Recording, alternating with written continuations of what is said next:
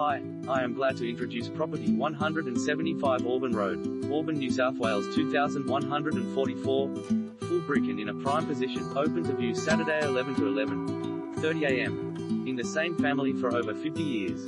This solid well-maintained full brick home is in a prime location with three good-sized bedrooms, large living room, tidy bathroom, neat kitchen with gas cooking and separate dining area.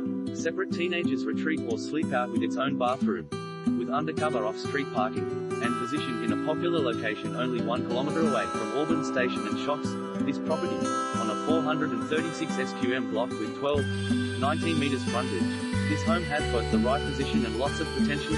Asterisk three good-sized bedrooms. Asterisk large living and dining rooms. Asterisk separate sleep-out teenagers retreat. Asterisk full brick construction. Asterisk neat kitchen with gas cooking. Asterisk internal laundry with second toilet. Asterisk 436 SQM block with 12.